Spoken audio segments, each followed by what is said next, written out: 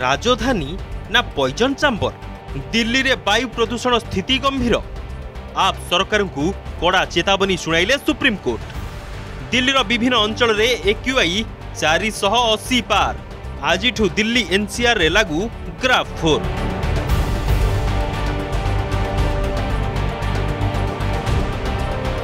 সাংঘাতিক হেউছি স্থিতি ସୁପ୍ରିମକୋର୍ଟଙ୍କ କଡ଼ା ନିର୍ଦ୍ଦେଶ ପରେ ଶେଷରେ ଦିଲ୍ଲୀ ଓ ଏନ୍ସିଆର୍ କ୍ଷେତ୍ରରେ ଲାଗୁ ହୋଇଛି ଗ୍ରାଫ୍ ଫୋର୍ କଟକଣା ପ୍ରଦୂଷଣ ନିୟନ୍ତ୍ରଣ ପାଇଁ ଦିଲ୍ଲୀ ସରକାରଙ୍କ ବିଭିନ୍ନ ପଦକ୍ଷେପକୁ ନେଇ କଡ଼ା ଆପତ୍ତି ପ୍ରକାଶ କରିଛନ୍ତି ସୁପ୍ରିମକୋର୍ଟ ଠିକ୍ ସମୟରେ ଠିକ୍ ପଦକ୍ଷେପ ଭାବରୁ ଆଜି ସ୍ଥିତି ଏପରି ହୋଇଥିବା କହି ଦିଲ୍ଲୀ ସରକାରଙ୍କ ଉପରେ ଦୋଷ ଲଦିଛନ୍ତି ସର୍ବୋଚ୍ଚ ଅଦାଲତ।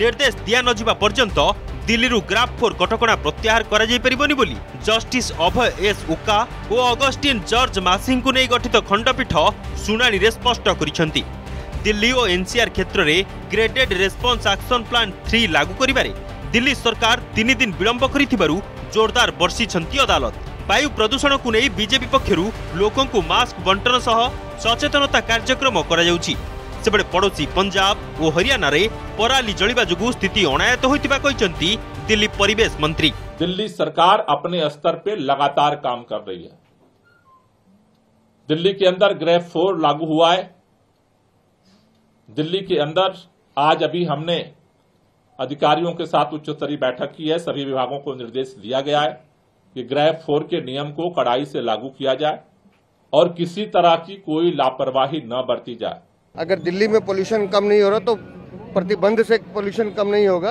आपको डस्ट कंट्रोल करना पड़ेगा, आपको पंजाब की पराली का धुआँ रोकना पड़ेगा, जिसके बारे में आप बात नहीं कर रहे हैं। आप लगाते रहिए प्रतिबंध। जनता तो मजबूर है कि वो आपके प्रतिबंध झेलेगी। लेकिन दिल्ली में पोल्यूशन की ये हालत आपके नकारेपन और निकम्मेपन के कारण है, जिसका खामेजा दिल्ली की जनता को भुगतना पड़ रहा है। ग्राफ फोर कटक लागू होगा राजधानी केवल ज़रूरी सेवा ସିଏନ୍ଜି ଓ ଇଲେକ୍ଟ୍ରିକ୍ ଟ୍ରକ୍କୁ ଛାଡ଼ି ଅନ୍ୟ ସମସ୍ତ ଟ୍ରକ୍ର ପ୍ରବେଶ ଉପରେ ରୋକ ଲଗାଯାଇଛି ବାହାରୁ ଆସୁଥିବା ସମସ୍ତ ବାଣିଜ୍ୟିକ ଯାନର ପ୍ରବେଶ ଉପରେ ମଧ୍ୟ ଲାଗିଛି ରୋକ କେବଳ ଦଶମ ଓ ଦ୍ୱାଦଶ ବ୍ୟତୀତ ଅନ୍ୟ ସମସ୍ତ କ୍ଲାସ୍ ଅନ୍ଲାଇନ୍ରେ ଚାଲିବ ସରକାରୀ ଓ ବେସରକାରୀ କାର୍ଯ୍ୟାଳୟ ପଚାଶ ପ୍ରତିଶତ କର୍ମଚାରୀରେ ଚାଲିବ ଅଧା କର୍ମଚାରୀ ୱାର୍କ ଫ୍ରମ୍ ହୋମ୍ରେ କାମ କରିବେ ଦିଲ୍ଲୀ ସରକାର ଯାନବାହନ ଚଳାଚଳରେ ଅଡ୍ ଇଭେନ୍ ଲାଗୁ କରିପାରିବେ दिल्ली की सरकार पूरी तरह विफल हुई है कल तक पंजाब पे आरोप लगाते थे, जो अपना करने वाला काम किया नहीं। दिल्ली के अंदर साढ़े इकतालीस परसेंट पोल्यूशन यातायात का है।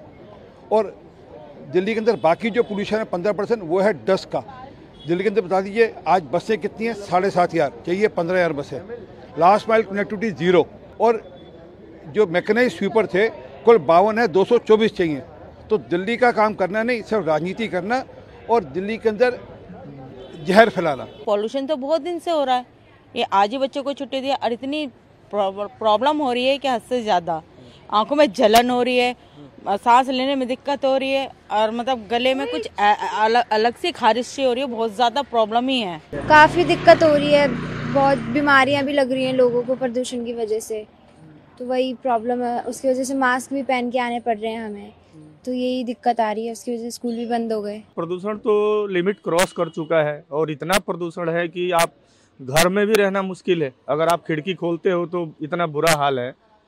बहुत मतलब दिक्कत हो रही है। आने जाने में भी आप देख रहे हैं कि अभी भी मतलब इस टाइम पे इतना धुंध है और महसूस कर सकते हैं कि हाँ धुआँ आ रहा है। दिल्ली में वायु प्रदूषण स्थिति उपर तीक्ष्ण नज़र रखी केंद्रीय प्रदूषण नियंत्रण बोर्ड।